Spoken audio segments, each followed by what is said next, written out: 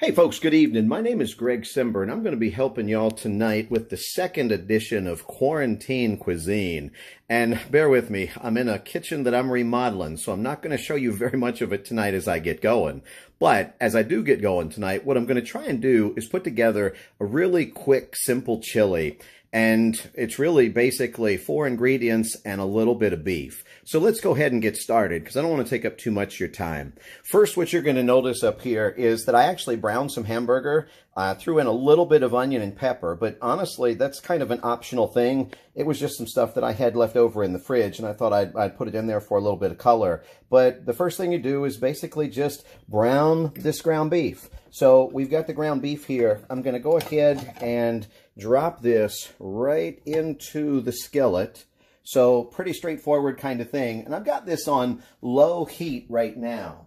This chili is actually kind of nice because I'm guessing that as students, many of y'all, and I might crank it up to about six, six, if you can get an idea of that. But basically, this is a pretty simple chili, and I'm guessing that, that a lot of y'all were stu or are students I know I used to be a student, and what I found is is that sometimes it's not being gourmet that's really the most important thing, but sometimes what's really the most important thing is just having something that's kind of simple and kind of quick that actually makes pretty good sense. So I've got this on basically about medium heat right now, and these are the hamburgers. It's already been browned. What I'm going to do is I'm going to grab now a can of tomatoes. I'm going to try and, you know, not give a whole lot of attention to the labels on this, but this is basically just a 28 ounce can of tomatoes. Pretty straightforward kind of thing. And from there, I'm going to jump in with a jar of salsa. And this is actually, again, just a 24 ounce jar of salsa. This is the hot. I kind of like it a little bit hot, frankly. Um, I don't know that this is going to give you all of the spice that you're going to want, but this is the beginning of it. And then from there, I'm actually going to grab a little bit of kidney beans. And these are just some light red kidney beans, pretty straightforward kind of thing. Drop them in. And so this doesn't overflow, I'm just going to start to stir this up a little bit pretty straightforward kind of a thing. Um, beans, hamburger, uh, and salsa. And you can pick the salsa to the, the degree of heat that you like. You can pick the beans. Maybe you like dark red kidney beans. Maybe you like light red kidney beans. Doesn't really matter which one it is, as long as there's some kind of a bean in there. And then from there, as we just, again, kind of stir this up, um, all you've got to do is basically simmer it. But there's one last can that I wanted to put in here, and this is actually just white corn. White corn. So the chili itself, um, give you an idea, the salsa is probably going to be, I don't know, $2 a bottle. The tomatoes, depending upon the brand, probably 2 or 250 The kidney beans are going to be under a dollar, in fact. And then the white corn, and you can use any kind of corn, or this could actually be something that's a little bit optional. Um, just depends on what your taste is. That's probably, depending upon the brand, going to be about a dollar or two. And then with a couple of dollars a hamburger, this is just a little bit more than $10. And you can see this was a pretty big skillet when I put it on here. And all you have to do now is basically just let this chili simmer. Pretty straightforward kind of a thing.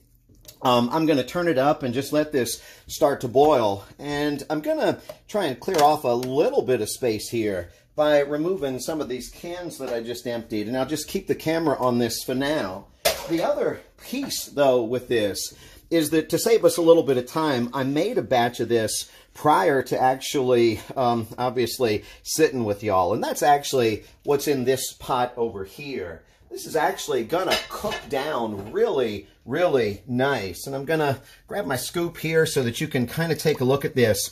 Although it's a jar of salsa, although it's a jar of canned tomatoes, and although it's a jar or a can of corn or can of beans, really, really simple. It's got a really nice flavor. Doesn't really taste like it came from a can. And it really takes maybe five minutes to brown the ground beef. Takes maybe, I don't know, 15, 20 minutes to let it simmer once it gets to a boil. And you can see the steam coming off of this as, as we, we get going.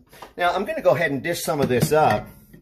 And bear with me because it is a little tricky trying to uh, film and uh, serve at the same time. But this is actually the chili right here. And like I said, it's got a really nice little flavor to it. It's chunky. Um, it's got some some juice to it, of course. I mean, really simple, quick and easy little thing. Of course, you know, some folks are going to like it a little bit hotter. And I'm going to be honest with you, uh, sometimes it's not just the chili, but it's in fact what you put on the chili that kind of makes a big deal. Now, you may see some chocolate and some candy in there. Don't get worried just yet. I'm going to come back to that. But obviously, one of the most basic things that you can do with chili is kind of slather on some, some, some grated cheese. Pretty straightforward kind of a thing. Um, no real issues as far as that's concerned. I actually like to add a little bit of raw onions on the top. And again, the onions seem like they have a different uh, kind of flavor depending upon when, when they're raw as opposed to when they're cooked. Depending upon how hot you like it too, one of the other things that you can actually do with this, I like to drop the jalapenos on top as well because I like a little bit of crunch in this, maybe is probably the best way of saying it. And when you get a little bit of crunch and a little bit more heat, uh, people maybe will have a little bit of a warning there that, that in fact this is going to be a little bit hotter. So this is the first thing. And this is just a nice simple bowl of chili. We can obviously add a a spoon and maybe a, a, a, dollop of sour cream right on top there, and there you go. Now, if you want to be a little bit fun with this, and I mean, come on, let's face it, we can't really leave the house, so we got to have fun with something. One of the things that I also like to do, maybe if you've got kids, or maybe if you are a kid, is in fact, I like to just put some corn chip scoops in there. Who needs the spoon, in fact, when you can actually just eat the corn chips that, that, that in fact go with it? And this is something that presents real nice. It's something that's really, really good. It's something that will bring a smile to somebody's face. And as I was saying, sometimes that, uh, that idea of playing with our food a little bit, especially now, might be kind of a big deal. I'm going to pull this off to the side, and you're going to notice up here, I've also got a really big hunkin' baked potato. Now, this baked potato is another way that you can actually play with chili. And bear with me, I, I, did a little bit of work today as, as we were getting ready for this tonight.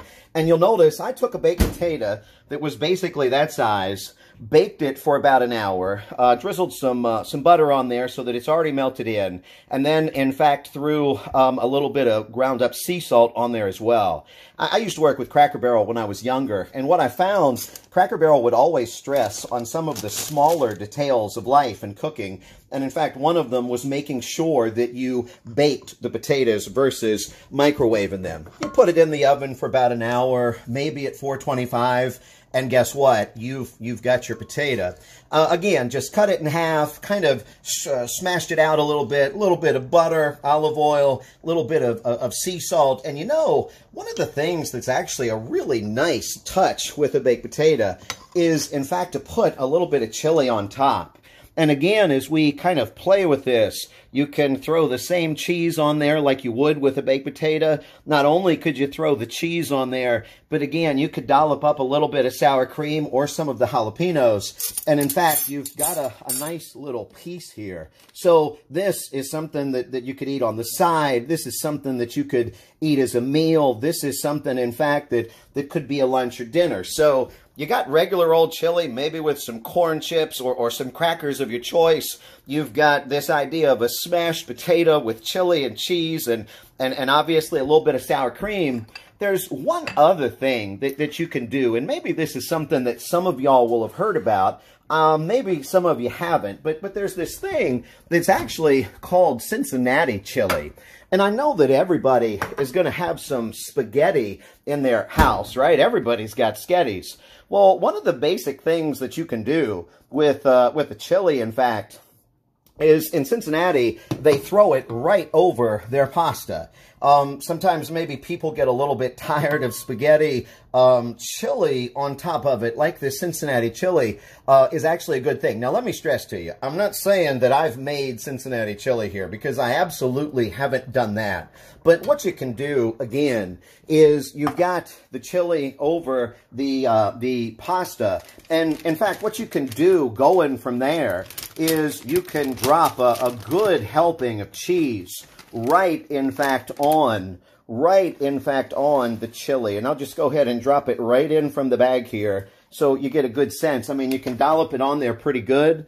The raw onions, in fact, are another touch that, in fact, goes with this idea of Cincinnati chili. So you've got all this together. And what they call this is there's a three-way, a four-way, there's a five-way.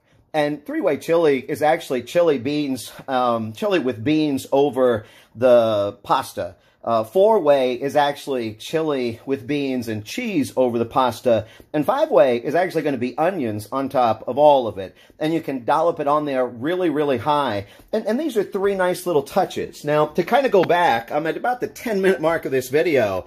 You can kind of see how this is basically beginning to boil now. You can see that it's beginning to kind of take the shape of the chili that we just had. So as you look at this, it's coming together pretty, pretty nice.